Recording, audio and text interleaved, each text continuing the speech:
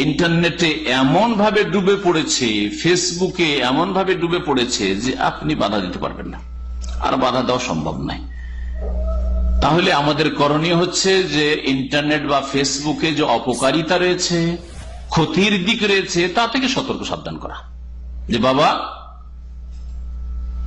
এগুলিতে ক্ষতি রয়েছে, এগুলিতে না। এই দিকগুলি ভালো, এই দিকগুলিতে তোমরা ঢোকো। এই কাজগুলি ভালো, এই কাজগুলি করো। এই কথাগুলি ভালো, এই কথাগুলিতে তোমরা ঢুকো। প্রথমে ইন্টারনেটের ক্ষতিকর দিক আমি বেশ কয়েকটি আপনাদের সামনে পেশ করব। তার মধ্যে প্রথমটি হচ্ছে সময়ের অপচয়, সময় নষ্ট করা। আর সময় আল্লাপাক যে দিয়েছেন, আয়ু দিয়েছেন, এই যে মিনিট যাচ্ছে, ঘণ্টা যাচ্ছে, এই সময়গুলির কিন্তু আল্লাহ পাকের সামনে হিসাব দিতে হবে। পাঁচটা জিনিসের কথা যে নবী করিম সাল্লা তিরমিজির হাদিসে রয়েছে যে কিয়ামতের দিনে জবাব দিতে হবে বলা হয়েছে যে হাদিসে তাতে বলা হয়েছে, আন অমরেহি বয়স সম্পর্কে, যেটা সময়ের নাম। সময়ের নামে হচ্ছে আপনার সময়টা, আপনার বয়স, আয়ু, তাই না? ওয়ান স্বাভাবিক আর যৌবন, যৌবনটা আপনার কি? সময়। হ্যাঁ যৌবনের সময়, যৌবন কাল। তাহলে পাঁচটার মধ্যে দুটোই হচ্ছে সময়, টাইম সম্পর্কে জবাব দিতে হবে। যে টাইমগুলি কোথায় পাস করেছিলেন? যে আল্লাহ আট ঘণ্টা ডিউটি করেছিলাম, ঠিক আছে? চব্বিশ ঘণ্টা আট ঘণ্টা ডিউটি করলে, ভালো কথা। হালাল লিজিক হালাল লিজিক ভালো কথা। আর বাকি? আর ষোলো ঘণ্টা। কয় ঘণ্টা ঘুমাইতে? বলছে, আল্লাহ, নামাজের সময় ঘুমাইতাম। জবাব দিতে পারবেন? হ্যাঁ তা নামাজ ঠিক রেখেছি। আর বাকি ঘুমাইতাম, ছয় ঘণ্টা ঘুমাইতাম হয়তো। বা সাত ঘণ্টা ঘুমাইতাম। আর বাকিটা কি করতে? বলছে, বাকি আল্লাহ, ইন্টারনেটের যুগ ছিল। আর বাকি আমি ইন্টারনেট খুব পছন্দ করতাম। আর ফেসবুকে বসতাম। আর আমি শেয়ার করতাম। আর এই কমেন্ট করতাম। আর এই করতাম। কি করতেন? জবাব দিতে হবে না? হ্যাঁ। সময় এর অপচয়তে রয়েছে। যেই লোকগুলি ইন্টারনেট, ফেসবুকে বসে থাকছেন আমাদের দিনই ভাইরা যারা ধার্মিক বলছি যাদেরকে, পাঁচ অক্ট নামাজ কায়েম করেন, তাদেরকে যদি জিজ্ঞাসা করি যে, ভাই, চব্বিশ ঘণ্টার মধ্যে একশো বার আস্তাফরুল্লাহ পড়া তফিক হয়েছে?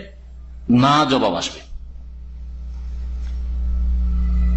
যদি জিজ্ঞাসা করি, সকাল সন্ধ্যার জিকির আজকার পড়ার তৌফিক হয়েছে? নায়ের জবাবেরই আশা করা যেতে পারে। আয়ের জবাব মুশকিলই আছে। জামাতে নিয়মিত নামাজ পড়েন হ্যাঁ জবাব আসবে কিনা আল্লাহ ভালো জানেন। এইভাবে এক একটি করে নেন। বাপ মায়ের খোঁজ খবর নেন আপনি হ্যাঁ? স্ত্রী ছেলে মেয়ে আছে, তাদের খোঁজ খবর নেন আপনি। আপনার মুসলিম ভাইরা পাড়া প্রতিবেশী অথবা আপনার বিল্ডিং এ থাকে আপনার কোম্পানির লোক, দিনী ভাই অসুস্থ রয়েছে, তাদের দেখাশোনার জন্য গিয়েছেন, হাসপাতালে অপারেশন হয়েছে, গিয়েছেন মানে তার জন্য সময় হয় না। কিন্তু ইন্টারনেট ফেসবুকে বসার জন্য না, ওটা সময় করতেই হবে। যেমন এক শ্রেণির লোকদের হ্যাঁ শরীর চর্চা, ব্যায়াম করার জন্য সময় আমাকে দুই ঘণ্টা করতে হবে। নামাজ ঠিক থাক আর না থাক অত ভাগা আর বড়ই ক্ষতিগ্রস্ত। সময় নষ্ট হয়ে থাকে ইন্টারনেট, এটা হচ্ছে একটি ক্ষতিকর দিক। আমি দলিল বললে সময় লম্বা হয়ে যাবে, আর এই অল্প সময় আমি শুধু পয়েন্টগুলি বলব, আর এই ক্ষতিকর দিকগুলি থেকে যাতে বেঁচে থাকেন। তাহলে সময় নষ্ট নয়, যদি আপনি সকালে আধা ঘণ্টা, বিকেলবেলা, সন্ধ্যাবেলা আধা ঘণ্টা টোটাল এক ঘণ্টা হয়তো ইন্টারনেটে ঢুকলেন আপনি ফেসবুকে ঢুকলেন, তাহলে এটাকে সময় নষ্ট সাধারণত বলা যাবে না। কিন্তু সকালে দুই ঘণ্টা নিয়ে বসে আছেন, বিকেলবেলা, সন্ধ্যাবেলা দুই ঘণ্টা নিয়ে বসে আছেন হ্যাঁ আর এর বেশি যদি হয়, তাহলে নিঃসন্দেহে সময় নষ্ট করা, আর এই সময় সম্পর্কে আল্লাহ পাকের সামনে জবাব দিতে হবে।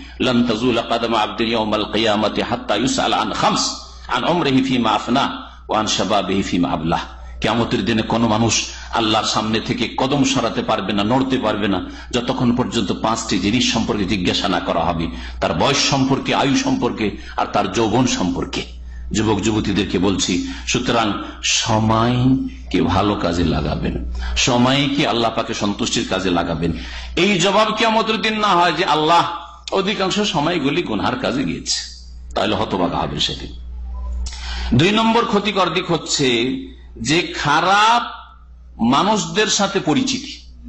ইন্টারনেট আর ফেসবুকে অধিকাংশ যাদের সাথে ফ্রেন্ডশিপ হচ্ছে বা পরিচিতি হচ্ছে, অধিকাংশই খারাপ।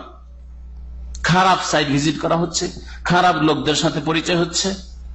এইরকম যদি গল্প বলতে যাই তো বহু গল্প জীবনে আছে। আজ থেকে প্রথম যুগে যখন ফেসবুকের যুগ ছিল, তখন এখানে এক কোম্পানিতে বক্তব্য করতে যেতাম। এক সাহেব বলছে, তার স্ত্রী আছে ছেলে মেয়ে আছে। আর বলছে যে আমি কোথায় বিয়ে করব? অস্ট্রেলিয়া বিয়ে করব। কেন অস্ট্রেলিয়া বিয়ে করবেন? ইন্ডিয়ান মানুষ অথবা পাকিস্তানি মানুষ। বেশ কয়েকটা ঘটনা এরকম ঘটেছে, ইন্ডিয়ান, পাকিস্তান অথবা বাংলাদেশ। তো কেন বিয়ে করবেন? বলছে, আমার আসলে ফেসবুকে পরিচয় হয়েছে আর আমাকে খুব ভালো লেগেছে। বলে, যেই মহিলা আপনার সাথে ফেসবুকে যোগাযোগ করতে পারে, সেটাই চরিত্রবতী হয়ে গেল আর বড়ই দিনদার হয়ে পরেশগার আল্লাহ আলী হয়ে গেল। আর আপনার স্ত্রী, যেটা আপনার বাড়িতে পনেরো বছর, ষোলো বছর, আঠারো বছর বয়সে এসছে, সেটাকে ভালো করতে পারলেন না, সেটা ভালো হইল না?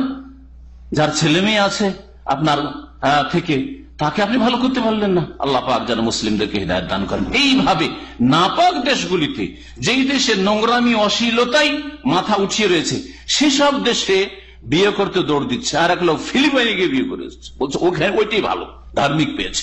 ও পাকিস্তানে ধার্মিক পায়নি, ভারতে বা ধার্মিক পায়নি, মুসলিম সমাজে বাংলাদেশে ধার্মিক পায়নি। এই হচ্ছে ইন্টারনেট আর ফেসবুকের অবস্থা, যে খারাপ সাথী সঙ্গীদের সাথে ছেলে হোক অথবা মেয়ে হোক পরিচিতি। এটা হচ্ছে ইন্টারনেটের ক্ষতিকর দিক। তিন নম্বর ক্ষতিকর দিক হচ্ছে যে আকিদার সর্বনাশ। ইন্টারনেটে ঢুকে, যেমন প্রথম দিকে আমি বলছিলাম যে আপনি দিন ইসলাম সম্পর্কে জানতে গেলেও ভালো স্কলার কিনা, সহি আকিদার আলেম কিনা, কোরআন, হাদিসের কথা বলেন কিনা? না, ওয়াজ ওয়াজ। আর শুরু করে ওই কবর পূজারীদের ওয়াজ শোনা শুরু করলে তাদের ভক্ত। তাহলে আপনি আকিদা ধ্বংস করে ফেললেন। কাদিয়ানিদের শোনা শুরু করলেন, আপনি খ্রিস্টানদের শোনা শুরু করলেন। আমি তর্ক শুনব, খ্রিস্টান মুসলিমদের তর্ক যে রয়েছে, ওইগুলো শুনব শুনতে আসলে ইসলাম সম্পর্কে আপনার জ্ঞান নেই। এক জায়গায় গিয়ে সন্ধিয়ান হয়ে গেলেন হতে পারে তর্ক করতে গিয়ে সেখানে হয়তো মুসলিম পক্ষ যে ছিল, সে নিজের দুর্বলতার কারণে দুর্বল।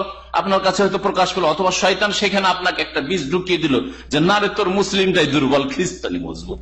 গেল, ধ্বংস হয়ে চলে গেলেন। এইভাবে আকিদা ধ্বংস হচ্ছে, কেউ ইসলাম থেকে বেরিয়ে চলে যাচ্ছে। অথবা ইসলামের মধ্যে যেসব বাতিল ফিরকা রয়েছে, শির্ক বিদাতি আকিদাই বিশ্বাস হয়ে যাচ্ছে, সহি আকিদা ধ্বংস হয়ে যাচ্ছে। যার উপর আল্লাহ ফাকরুল আলমিন হয়তো আপনাকে পয়দা করেছিলেন, যেটাকে বলা হয়েছে ইসলামের ফিতরাত, সেটা হচ্ছে আল্লাহ তৌহিদের উপর আপনাকে পয়দা করেছেন। কিন্তু আপনি ইন্টারনেটে, ফেসবুকে ঢোকার কারণে আপনি শিরকি বিদাতি আকিদাই বিশ্বাস হয়ে পড়লেন। ইন্টারনেট ক্ষতিকর দিক হচ্ছে যে ইন্টারনেটে কুফরি আর নাস্তিকতা, বিধর্মিতার প্রচার বেশি। এগুলির প্রচার বেশি। কারণ এর পিছনে যে শক্তিটা রয়েছে, সেটা হচ্ছে কুফরি শক্তি। এগুলি তৈরি করেছে, এগুলি ছাড়ছে, এগুলি নেতৃত্বে রয়েছে, সব কুফরি শক্তি। সুতরাং এতে থেকে অল্প কিছু বাছাই করে একজন মুসলিম যুবকের বা যুবতীর নেওয়া এটা বড় জটিল বিষয়। এই জন্য খুব সতর্ক সাবধান হতে হবে যে আমরা জানতে হোক অথবা অজান্তে। কুফুরি কথা তো আমি শুনলাম না। আমি নাস্তিকতার কথা তো শুনলাম না। এমন ভাবে মুসলিমদের কথা, মুসলিম মালামাদের কথা পেশ করা হচ্ছে, তাদের ভাবমূর্তি নষ্ট করে সমস্ত ঝামেলার মূল হচ্ছে এ আলেম সমাজ। এইরকম কথা শুনলো, আর তার উপরে গিনা জন্মে গেল। পার্থক্য করলেন কোরআন হাদিসের অলমাইকে রাম হকানি অলমাইকে রাম না বিদাতি আলেম, কোন পার্থক্য করলেন না। আপনি ওইসব নাস্তিক, বিধর্মী ধর্ম নিরপেক্ষতায় বিশ্বাসী, ইসলামের শত্রু, মুনাফিক মুসলিম সমাজের অথবা মুসলিম তাদের জালে শিকার হয়ে গেলেন আপনি। এরকমই খ্রিস্টানদের শির ব্যাপক হারে ছড়িয়ে রয়েছে ইন্টারনেটে। ওয়েবসাইটে সুতরাং সেগুলিতে আপনার পড়ার আশঙ্কা আছে। সুতরাং এমন ক্ষেত্রে আপনি যাবেনই না যাতে আপনি ওইসব শিরকার কুফরিতে আলিপ্ত হন। আপনি এই বড়দিন যেটাকে বলা হচ্ছে পঁচিশে ডিসেম্বর, আর ঢুকলেন আর দেখলেন তাদের বাতিল, সব বাতিল, শুরু থেকে শেষ পর্যন্ত বাতিল কথা আর এত লোক, আর এত লোক, আর এত কিছু তাদের। সুতরাং মনে হয় তারাই তারাই হয়তো ভালো পথে আছে। অথচ তারা ঈসা আলী সালামের দিন থেকে অনেক দূরে চলে গেছে। ঈসা আলী সালাম তৌহিদ নিয়ে এসেছিলেন। তারা কমের পক্ষে তৃত্ববাদ বিশ্বাসী, তিন খোদায় বিশ্বাসী। তাহলে তারা মুশ্রেক হয়ে পড়েছে। আল্লাহ বলছেন, ওই সব লোকেরা কাফের হয়ে গেছে। যারা বলেছে আল্লাহ তিনের তৃতীয়। মানে তিন খোদা, তিন এলাহ রয়েছে, তিন উপাস্য রয়েছে।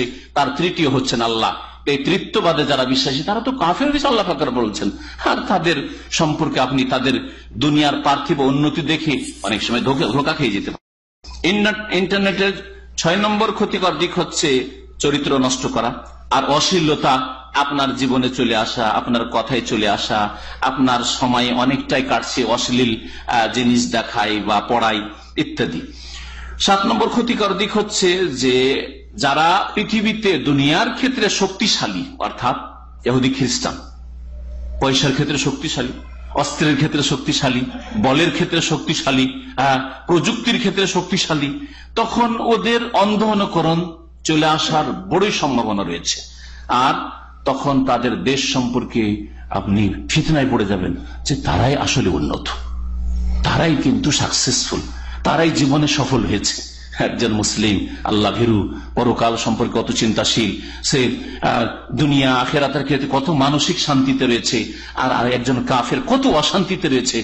তারপর দুনিয়ার উন্নতি দেখে, যান্ত্রিক সভ্যতা দেখে আপনি ধোকায় পড়ে গেলেন। এরকম হইতে পারে।